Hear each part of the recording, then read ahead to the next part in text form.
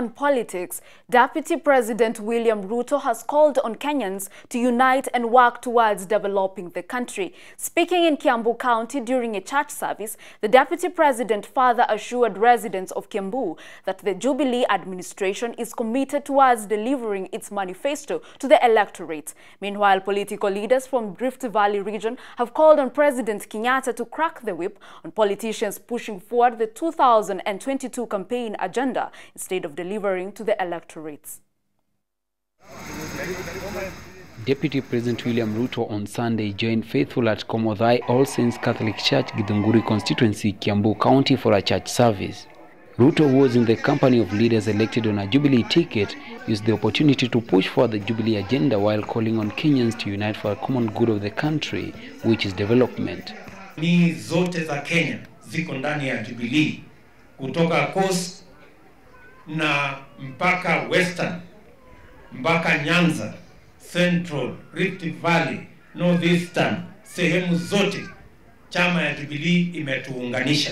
Sisi tutasimama imara kama chama ya Jubilee nyuma ya Uhuru Kenyatta, tuhakikishe ya kwamba ile ahadi ya barabara na maji na stima na maendeleo inatimia ndani ya chama ya Jubilee.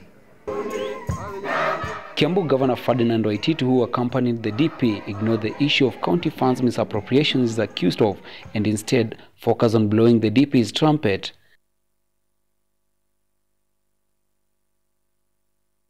Sisi watu wote wa Kiambu ni watu yako.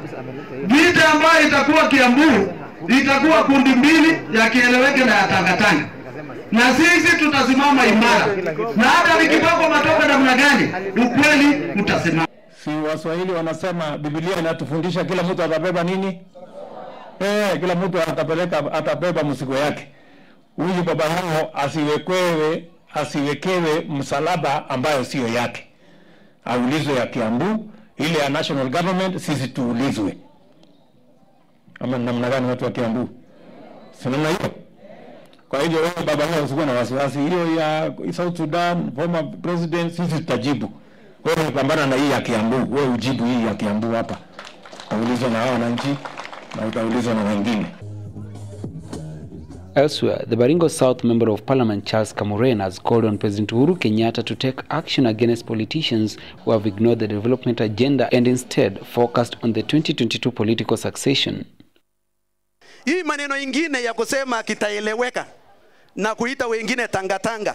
Kenya tunataka tuwe sauti moja na tuwekane sauti moja.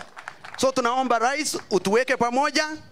Despite the head of state and ODM leader Raila Odinga entering into a political truce, which stated, among other things, ignoring their political differences and focusing on uniting Kenyans, leaders allied to both the Odinga and Uhuru camps have continuously engaged in political supremacy battles and the 2022 politics, a move that has poked more holes in the Odinga-Uhuru unity. Kelvin Ogome, KUTV.